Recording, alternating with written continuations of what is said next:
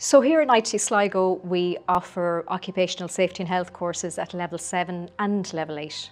Anyone who has an interest maybe in helping protect worker health, um, helping ensure that the workplace is safe for them, uh, this is an ideal course for them. A lot of people, you know, have the impression that um, that a job in health and safety is all about kind of hard hats and safety glasses but it's much, much more than that. Protecting the, the, this was the physical body, but also there's a whole mental aspect to it, and um, and the area of mental health is so so important, and employers are starting to recognise that. The work is very varied for our, our graduates, so they work in everything from manufacturing to pharmaceutical companies in construction, consultancies, local authorities, in fact, uh, any type of workplace, because all workplaces have a, a legal obligation to manage health and safety.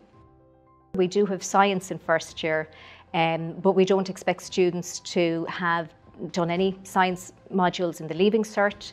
We start from the basics and it's all applied. So when students are studying biology, they're looking at it in relation to how the body works and how it can be impacted by exposure to risks in the workplace.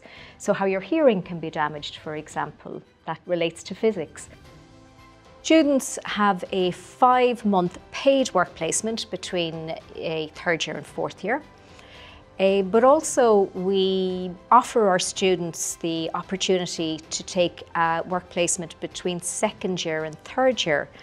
So there are an awful lot of workplaces who are looking for students who would be able to uh, give manual handling training, carry out VDU risk assessments uh, across the summer months.